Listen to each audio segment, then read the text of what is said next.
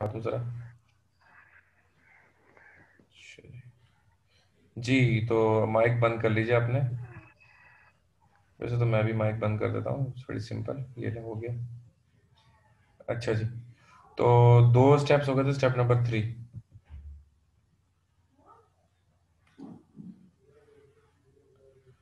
नज़र आ रहा है ना मैं स्क्रीन शेयर की। Comparing the performance with standard अब पहले स्टेप में हमने आपको जॉब पर रखा और हमने आपको टारगेट्स दे दिए यानी कि आपकी हमने सेट कर दिया कि भाई ये ये काम आपने करना दूसरे स्टेप में हमने क्या किया? दूसरे स्टेप में हमने ये किया कि आपको हमने जो एक्चुअल परफॉर्मेंस आपने दी after particular period of time हमने उसको मेजर करना शुरू कर दिया। तीसरे स्टेप में हमने ये किया कि हम, आपकी जो एक्चुअल परफॉर्मेंस थी और जो आपकी एक्सपेक्टेड परफॉर्मेंस थी, उन दोनों का हमने कंपैरिजन शुरू कर दिया। कि आपने हमारी उम्मीदों से बढ़कर काम किया, या आप हमारी उम्मीदों पर पूरा नहीं उतरे। तो this comparison is the basically step number three जो कि आपकी स्क्रीन पर आपको नज़र आ रहा है comparing the performance with standard अब जब हम कंपैरिजन करेंगे ना तो उसमें तीन स्टेप्स हो सकते हैं। स्टेप नंबर वन क्या होगा कि जो हमें आपसे उम्मीद थी, आपने वो उम्मीद पूरी की होगी। ठीक है स्टेप नंबर वन क्या होगा कि हमें आपसे जो उम्मीद थी, वो आपने पूरी की होगी। ठीक है जी, और दूसरा क्या हो सकता है कि पूरी नहीं की होगी, तीसरा बिल्कुल, या हमारी उम्मीद से बढ़कर होगा, आपने किया होगा, ठीक है ना? तो स्टेप नंबर टू के बाद स्टेप नंबर थ्री में ये था कि हम अपने कंपैरिजन करेंगे। कंपैरिजन करने के बाद जो भी रिज़ल्ट होगा उसके उसके हिसाब से हमें करेक्टिव एक्शन लेना होगा that is step number four अब करेक्टिव एक्शन क्या हो सकता है? करेक्टिव एक्शन डिपेंड करता है आपकी परफॉर्मेंस के ऊपर। मिसाल के तौर पर, हमने आपसे जो एक्सपेक्टेशन की थी, अगर वो पूरी नहीं होती इन केस अगर आप हमारी एक्सपेक्टेशन पर पूरा नहीं उतरे तो करेक्टिव एक्शन ये होगा कि आपकी काउंसलिंग की जाएगी, आपको समझाया जाएगा कि आपने ये काम किया था, ये काम आपने गलत किया था, ये काम आपको ऐसे करना चाहिए था, वगैरह वगैरह। ठीक है जी? तो this is step number one step number two क्या होगा? आपने हमें जो आपसे उम्मीद की आपने अपनी पूरी की होगी। अगर आपने हमारी उम्मीद को पूरा कर दिया है तो हम आपको एप्रिसिएशन लेटर देंगे, आपको प्रमोशन देंगे, आपको पक्का करेंगे, और आपको अच्छे फ्यूचर की हम आपको रहनुमाई करेंगे आपकी कि भाई हाँ आपने बहुत अच्छा काम किया, हमारे इस बात को हम मानेंगे और इसी हिसाब से आपको लेकर चलेंगे। अगला क्या हो सकता है? इसके अलावा स्टेप नंबर थ्री आपने हमारी उम्मीद से बढ़कर किया होगा, आपने हमारी से बढ़ के होगा स्पेशल प्रमोशन मिलेगा आपको और आपके, आपको पार्टी दी जाएगी कैश अमाउंट दिया जाएगा, आपके डबल प्रमोशन किया जाएगा, इस तरह की चीज़ें आपको मिलेंगी। तो होता क्या है? जो जैसा इंसान करता है, उसके साथ वैसा ही सलूक किया जाता है इदारों के अंदर। बुरा करोगे, बुरा होगा, भला करोगे, भला होगा। ठीक है? तो दिस इज़ करेक्टिव एक्शन अगर कोई बंदा बहुत ही बुरा है, उसने करप्शन कर दी है, कोई जुर्म कर दिया तो उसको इदारे से फारिग करने के बाद उसके खिलाफ एक्शन भी लिया जा सकता है। उस बंदे को फारिग करने के बाद उसके खिलाफ एक्शन भी लिया जा सकता है। सही है जी? Okay.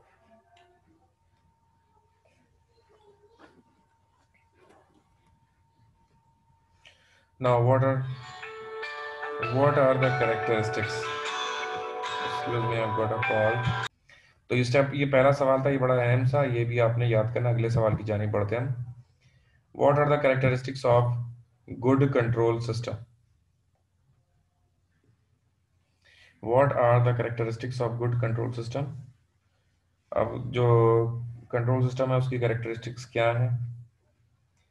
तो इसके अंदर है, जी अल्लाह भला करे।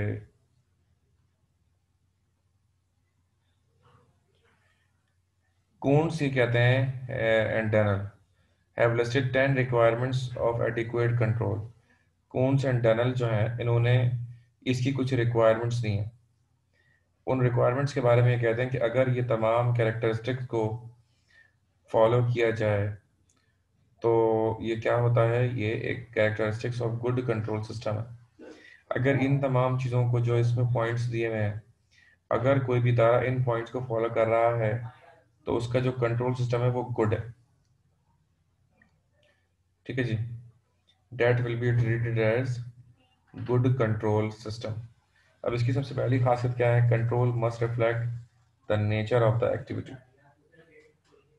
control must reflect the nature control must reflect the nature of activity ठीक है जी? It stand to reason that control practice of organize crime would be likely to differ from those use by camp fire girls यानी कि अब इसमें क्या बताया गया कि भाई देखें, इसमें बड़ा बहुत थोड़ी मुश्किल इंग्लिश यूज़ की गई है। अगर आप चाहें तो उसको यूज़ उसको इस तरह कर लें कि control must be tailor made and it must be made according to the nature of business भाई कंट्रोल सिस्टम कैसा होना चाहिए? जैसा बिज़नेस हो, उसके हिसाब से कंट्रोल सिस्टम होना चाहिए। मिसाल के तौर पर एक हॉस्पिटल है, उसके लिए कंट्रोल सिस्टम अलग होगा। ठीक है जी? अगर एक जो है हॉस्पिटल की जगह पर अगर कोई और चीज़ है तो जैसे जैसे अलग अलग चीज़ें होंगी अलग अलग कंट्रोल सिस्टम होगा। ठीक है जी? तो ये इसमें बताया गया। Control system must be different from each other control system एक दूसरे से मुख्तलिफ़ मुख्तलिफ़ होगा। ये इसमें बताया गया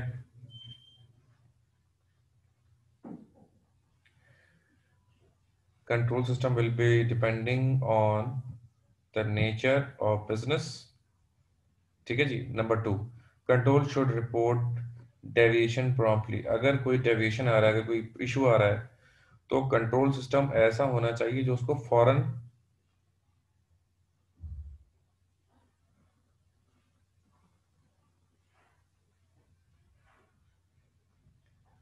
जी, मैंने पढ़ लिया आपके मैसेजेस अच्छा ठीक है। नहीं है ना तो मैं ये मटेरियल आपको दे दूँगा। छोटा छोटा लिखा हुआ है तो ये बुरा तो नहीं लिखा हुआ। अच्छा आप लोगों के पास जो है वो नए वाले, उसमें चेंजेस किए हैं। तो एक काम कीजिएगा, मुझे जो characteristics of good control system है, उसकी ना मुझे वो भेज दीजिएगा व्हाट्सएप हाँ वाकई में थोड़ा लेंदी है। चले मैं इसकी मार्किंग करा रहा हूँ, ज़रा नोट कीजिएगा आप लोग, ठीक है? मैं हाईलाइट कर रहा हूँ, आप लोग स्क्रीनशॉट ले लीजिएगा। ठीक है, वो मैं देख लूँगा। मैं मार्किंग कर रहा हूँ उसकी द कंट्रोल प्रोसेस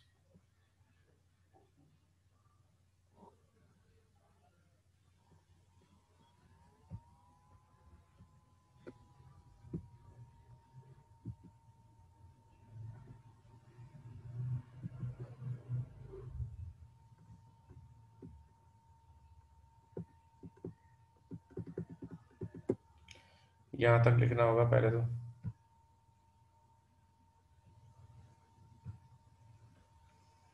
इसके बाद ये लाइन लिखेंगे आखिरी वाली।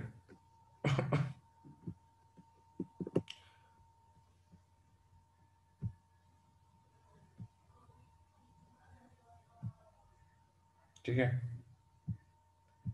इसके बाद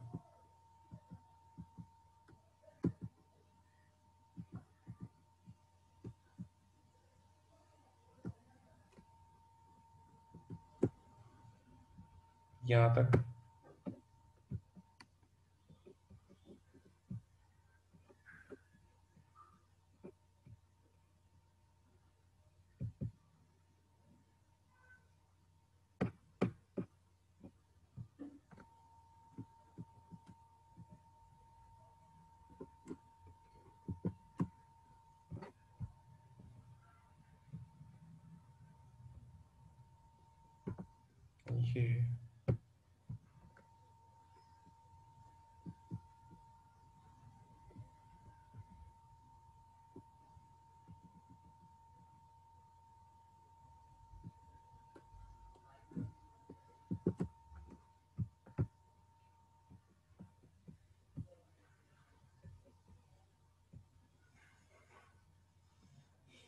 ले लिया स्क्रीनशॉट तो ले रहे हैं ना, आप लोग ज़रा कंफर्म कर दिएगा मुझे।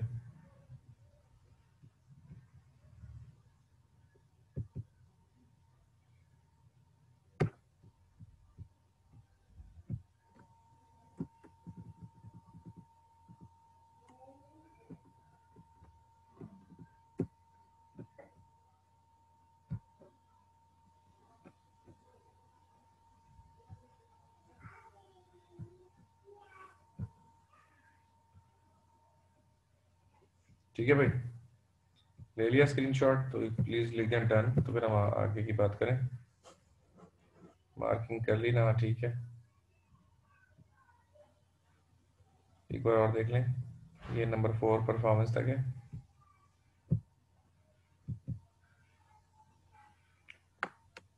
कंपेयरिंग परफॉर्मेंस विद स्टैंडर्ड्स ये भी देख लें। Measuring performance.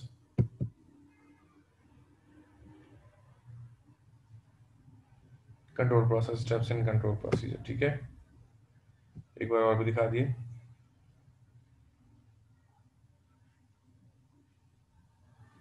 बेटा, इस चैप्टर का नाम है कंट्रोलिंग मैंने आप लोगों से कहा था, पौने दो बजे ज्वाइन करने, पौने तीन बजे ज्वाइन करने का कहा था, पहले ही मैंने मैसेज कर दिया था। क्योंकि लाइट जाना है बस कोई मिनट जा रहा है। खैर तो ये सवाल कंप्लीट हो गया। अगले सवाल को इंशाल्लाह अगली क्लास में कर, करेंगे और कल साढ़े बारह बजे इंशाल्लाह हमारी बिज़नेस लॉ के दो सेशंस होंगे ठीक है ना? चलें फ़िलहाल यहीं तक अपना बहुत ख्याल रखिएगा। और इसको याद कर लेगा जो आज मैंने सवाल कराया ठीक है? अल्लाह हाफ़